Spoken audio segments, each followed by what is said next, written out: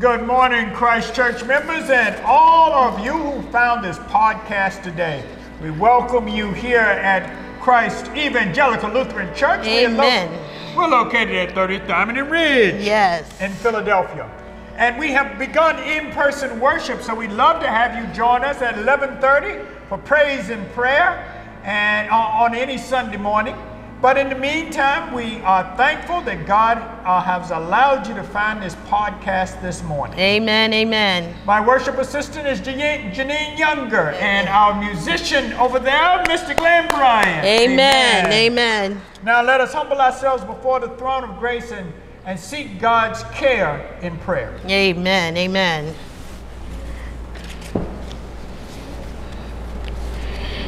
Gracious God, you have placed within the hearts of all your children a longing for your word and a hunger for your truth.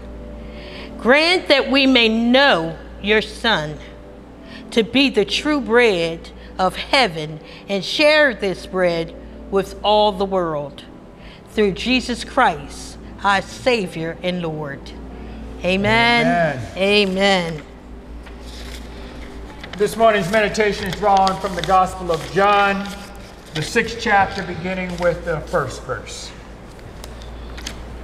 Amen. Jesus went to the other side of the Sea of Galilee, also called the Sea of Tiberias. A large crowd kept following him because they saw the signs that he was doing for the sick. Jesus went up in the mountain and sat down there with his disciples. Now, the Passover, the festival of the Jews, was near.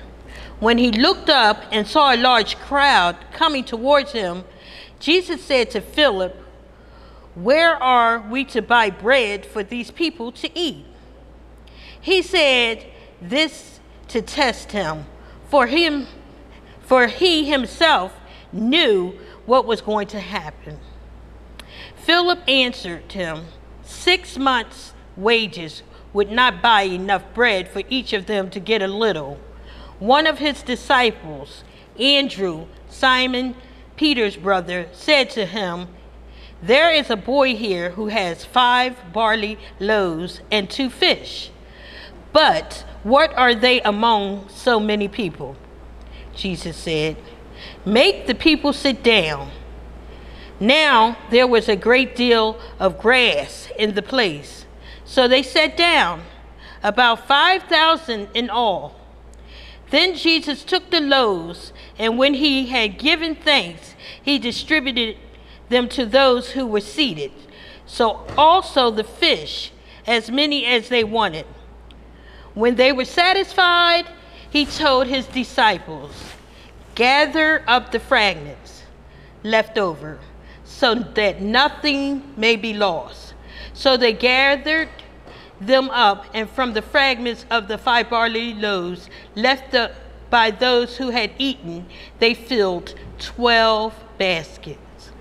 When the people saw the signs that he had done, they began to say, This is indeed the prophet who is to come into the world. When, Je- when Jesus realized that they were about to come and take him by force to make him king, he withdrew again into the mountains by himself. When evening came, his disciples went down to the sea, got into a boat, and started across the sea to Capernaum. It was now dark, and Jesus has not yet come to, to them. The sea began, became rough because a strong wind was blowing. When they had rowed about three or four miles, they saw Jesus walking on the sea and coming near the boat. And they were terrified. But he said to them, It is I. Do not be afraid. Then they wanted to take him into the boat, and immediately the boat reached the land towards which they were going. Amen. Amen. Amen. Amen. Uh, Jeannine, I have a problem this morning. There's way too much to preach on. Take your time. You got Way time. too much to preach on. Take your time, Pastor. I, I could tell you that, uh, I mean, look at all of the stories that this, this text gives us today. You got the feeding of the 5,000. Yes. Or the hundreds of thousands, or however many people were following Jesus. You got Jesus walking on the water. Yes. That's a whole nother story in, in and of itself. Amen. And then, and then you've got some, some smaller uh, arcs of, of stories going on, like the one that, that, that little line in there that said they people were going to take him by force and make him king, but he withdrew. Yes, went to the mountain. And we could talk about the fact that king was not what he was here to do. Amen. He Amen. was to be a representative of God. Yes. And that job is what he was most important, uh, mo- what was most important for him. Yes. Yes. But there's another story that I'm actually going to preach on today that, that may get lost in the glare of these big miracles Amen. going on uh, around us in this. And I'm gonna I'm gonna put it in this context Yes. for you because we would miss it. We miss stuff like this. That's why Bible study's good. Amen. Amen. You know, Wednesday. Oh, oh, that's right. What, what, what time is Bible study? Wednesday, seven o'clock. That's your commercial break right Amen, there. Wednesday, amen. 7 o'clock. On Zoom, right? Yes. yeah, yes. yeah, okay. You're Well, welcome. Join us. Uh, anyway, there is, th- th- this story is, it, it gets overlooked because of these blockbuster um, miracles that were taking place. Amen. The story says, and again, you can go back and read it, John 6, chapter 1 through 21. You can go back and read it for yourself. But the story says in here that, that the disciples, Jesus had all of the, the, the, uh, folks sit down Yes. On the grass. on the grass, and somehow they got fed. Amen. with, with, Somehow. somehow. Now that's the part I, I, want because you see, it, it, it kind of gets overlooked. I mean, we know that 12 baskets were full, uh, you know, picked up after, After the fact. We also read in the text, uh, or, or missing some things in the text, nobody was complaining. Not at all. It appears that everybody had their fill, Yes. And that everybody was satisfied. amen. Amen. And I want to kind of think about that for a moment. How did that happen? How did that happen? How could, in the midst of all of this, I mean, what did the disciples say? Even if we had six months worth of wages, we couldn't feed all these people. Amen. That's what they said. We can't feed all these people. But it was a test, right? Jesus eh, had a number of tests going on. Amen. Amen. Some wanted to see whether or not he truly was the Son of God. Amen. God may have wanting to demonstrate for him that the, uh, these miracles are there not for God's sake, For but to let you know that the one God sent Amen. Amen. has been endowed with the power of God. Yes, he is. Amen. And we call him Jesus. Jesus. Amen. So he can walk on water. Yes, he can. Amen. He can heal the sick. Yes, he can, Pastor. Amen. And he demonstrated all of those things. But I'm still Still stuck on how all them people got fed. Because of Jesus. Amen. Because that's where it- the story really goes to us.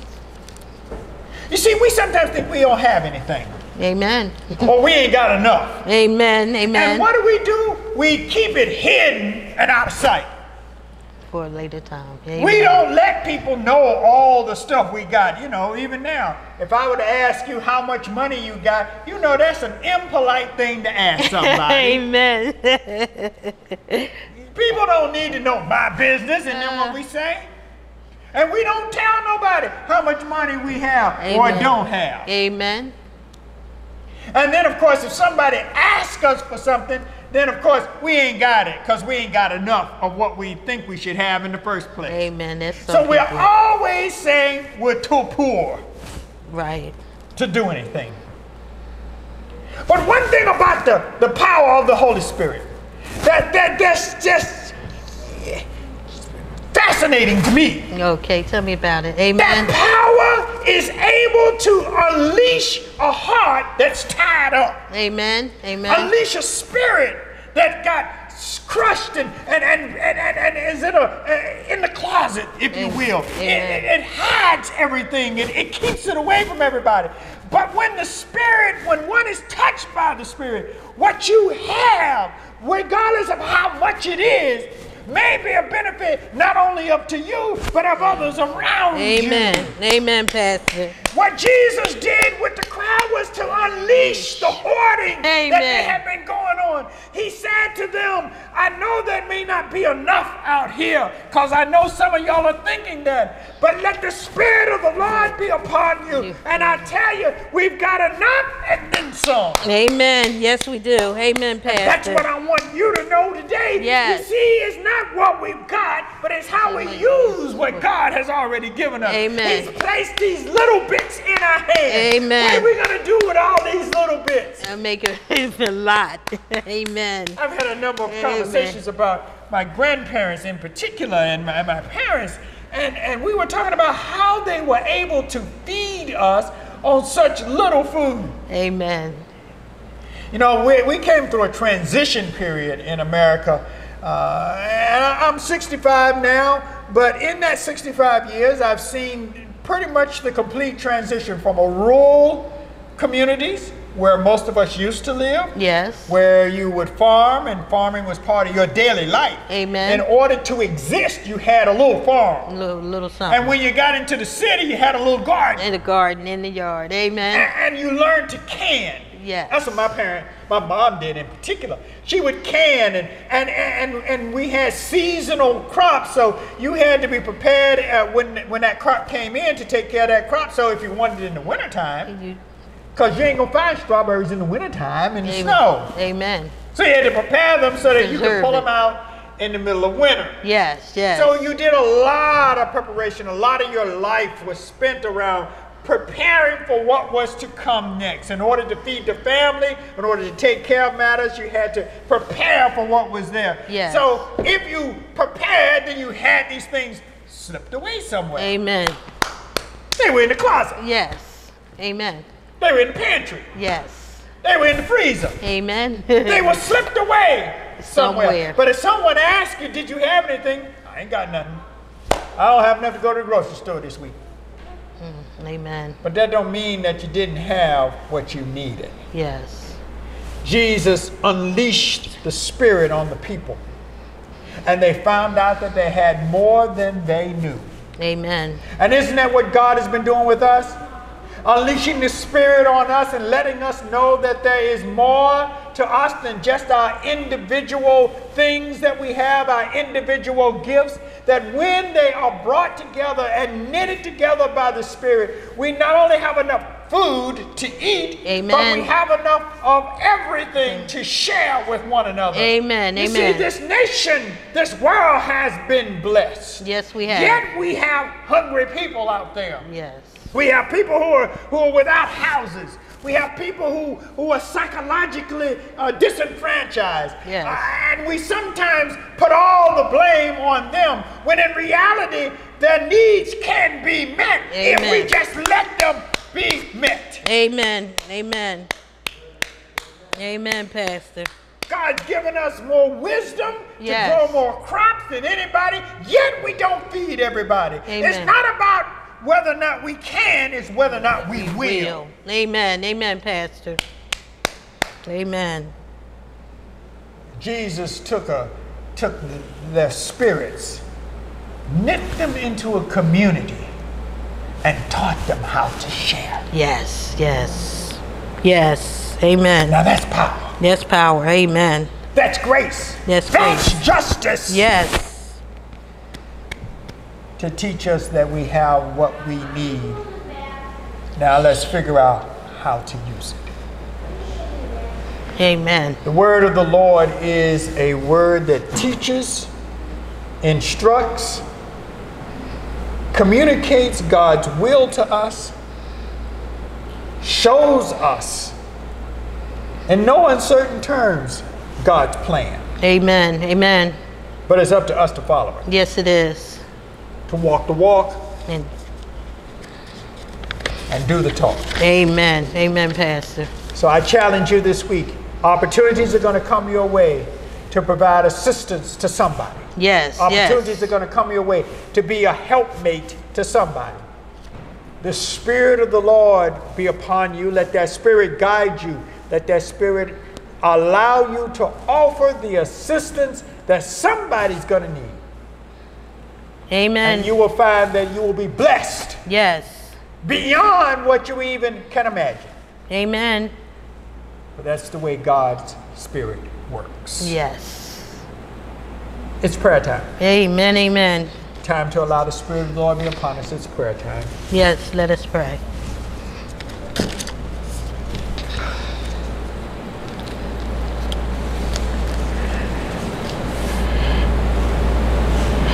Rooted in Christ and sustained by the Spirit, we offer our prayers for the church, the world, and all of creation.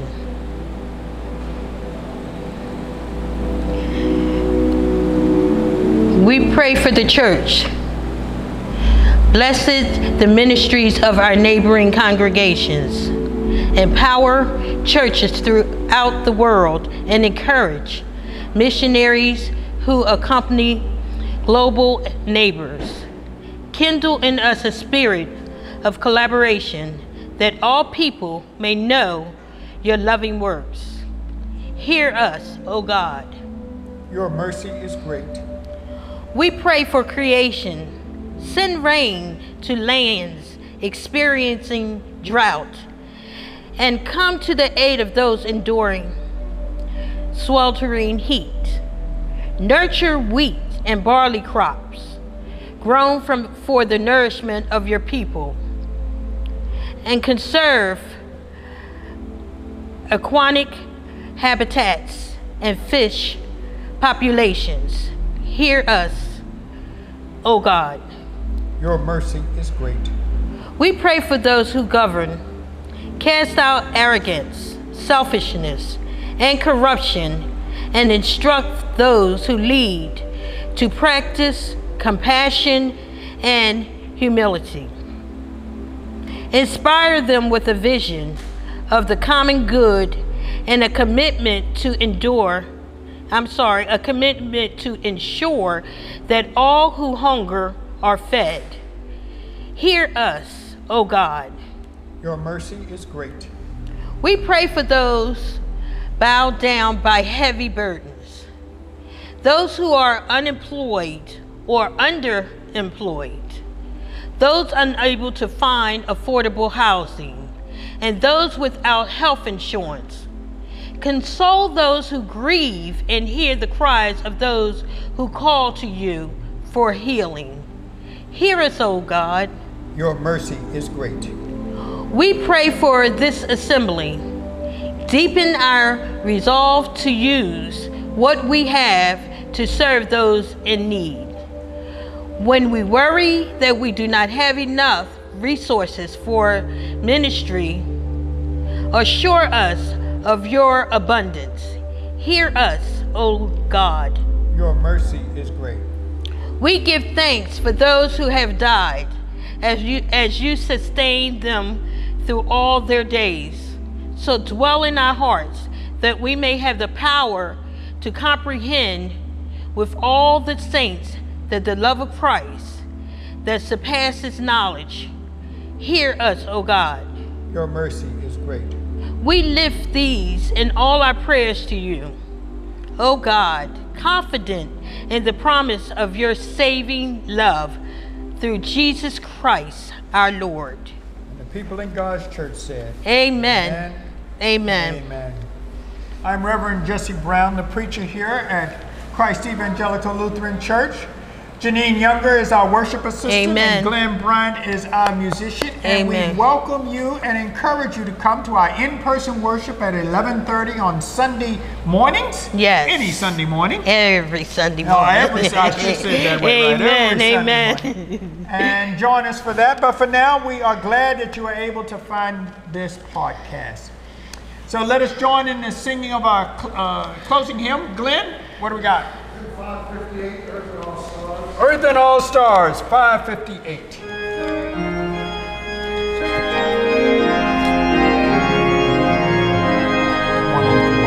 Okay.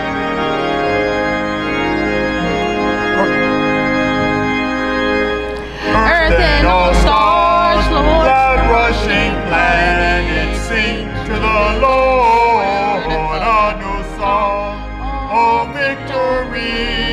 Loud shouting armies sing to the Lord a new song. God has done marvelous things. I too will praise Him with a new song.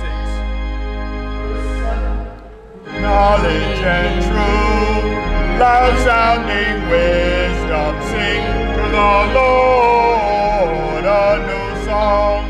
Daughter and son, loud praying members, sing to the Lord a new song. God has done marvelous things. I too will praise him with a new song. Amen. Now may the Lord bless you and keep you. May the Lord make his face shine upon you and be gracious to you. May the Lord look upon you with favor and give you peace. In the name of the Father, and of the Son, and of the Holy Spirit. And the people in God's church said, Amen. Amen. Amen.